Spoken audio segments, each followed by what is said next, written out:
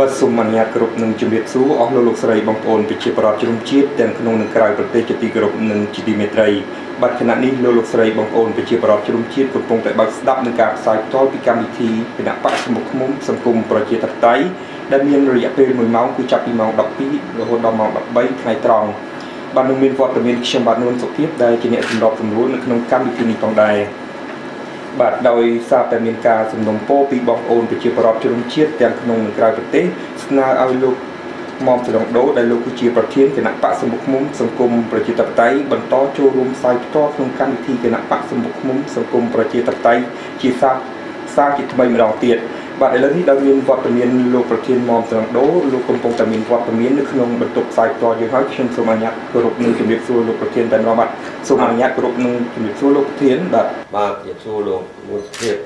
បាទសូមបញ្ជាក់ផងដែរថាប្រធានបទយើងថ្ងៃនេះគឺផ្សាយបន្តពីថ្ងៃម្សិលមិញថាតើប្រជាពលរដ្ឋខ្មែរយើងអាចរួបរวมគ្នាបានដែរឬទេ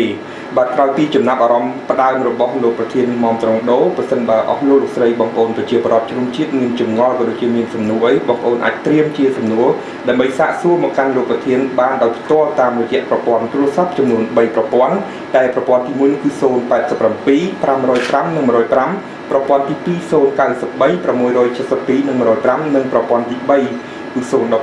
45 85និង99 បាទសូមបញ្ជាក់ផងដែរថាចំពោះប្រព័ន្ធទី3គឺប្រព័ន្ធ016 45 85និង99នេះគឺសម្រាប់តែបងប្អូនដែលរស់នៅឯខាងក្រៅប្រទេសតែប៉ុណ្ណោះ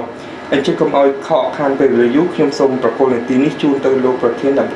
ដើម្បីឆ្លើយនឹងចំណាប់អារម្មណ៍គ្រាដំបូងបាទសូមរំជើញលោកប្រធានបាទបាទបាទមុនចាប់ផ្ដើមខ្ញុំប្រកាសណាមុំស្រងដូប្រធាន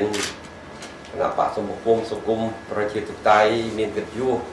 នឹងមានអារម្មណ៍រីករាយជាទីបំផុតដែលខ្ញុំអនុញ្ញាតចូលរួមជាប់ជាប់គ្នានឹងក្នុងកម្មវិធីមតិជាបរិបទដោយសារតែមានសនុពោពីជាបរិបទបាទដែលមានធានបត់តើប្រជាពលរដ្ឋខ្មែររួមរួមគ្នាបានដែរឬទេជាធានបត់មួយដ៏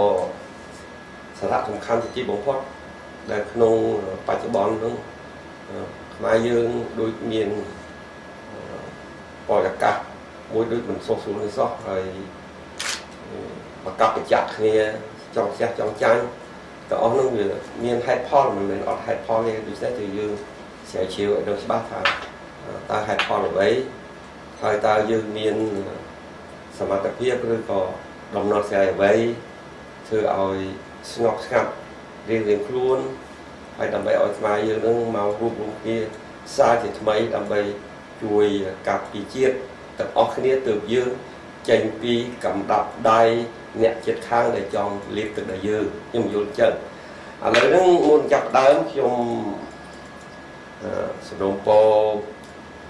ទៅដល់បងប្អូនខ្មែរនៅក្នុងប្រទេសក៏ដូចនៅក្រៅប្រទេសដែរ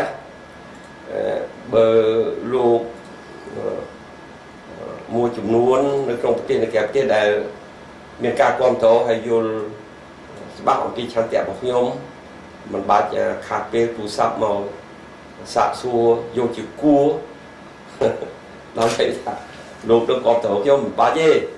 ខ្ញុំសុំទោសណាខ្ញុំសុំទោសខ្ញុំទុកពេលវេលាឲ្យអ្នកដែលគេមិនបានយល់អំពីឆន្ទៈរបស់យើង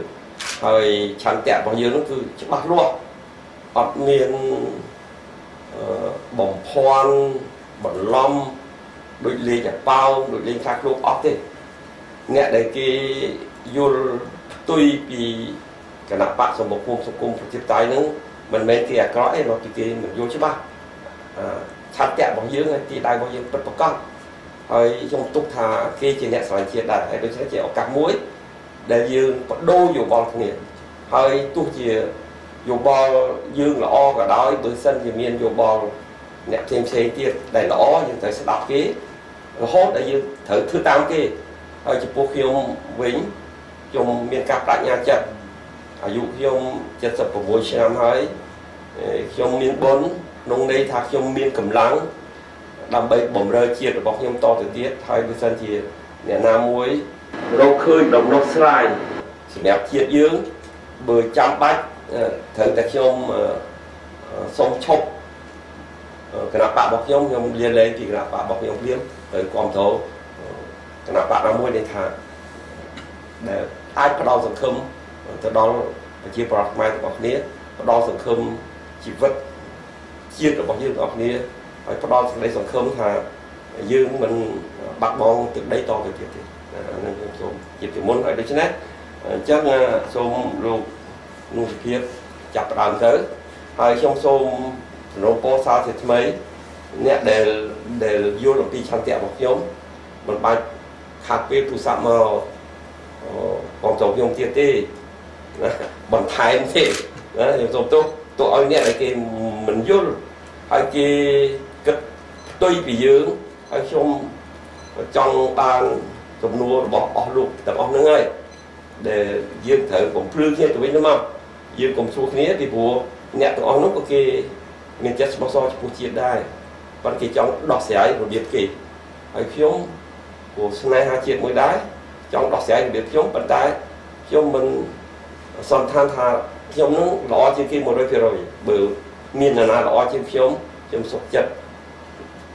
ដកខ្លួនលៀនលែងពីគណៈបកខ្ញុំទៅរួមរួមគ្នាទាំងអស់គ្នាតែនិយាយមកឥឡូវជាឱកាសមួយហើយហើយសំណួរកុំឲ្យមានការរុញរា សំណួរអ្វីដែលប្រជាពលរដ្ឋមិនអាចដោះស្រាយបានសួរខ្ញុំមកខ្ញុំមិនអះអាងថាខ្ញុំអាចដោះស្រាយបានទេប៉ុន្តែខ្ញុំផ្ដល់ដំណោះស្រាយទៅតាមឆន្ទៈរបស់ខ្ញុំហើយបើសិនជាសំណួរសម្រាប់ចាញ់ចាលនិយាយពីឆ្វេងទៅស្ដាំពីស្ដាំទៅឆ្វេងអានឹងខ្ញុំសូមទោសកុំឲ្យកុំឲ្យខាត់ពេលណាខ្ញុំសូមទោសយើងមិនបាច់យកបញ្ហាទាំងអស់ហ្នឹងមកលោកដំនៅក្នុងពេលវេលាដែលយើង រកដំណោះស្រាយរួមគ្នាច្រកចេញទាំងអស់គ្នាធ្វើយ៉ាងដូចម្ដេចដើម្បីឲ្យជាប្រកខ្មែររួមរួមគ្នាបាទអរគុណបាទសូមអរ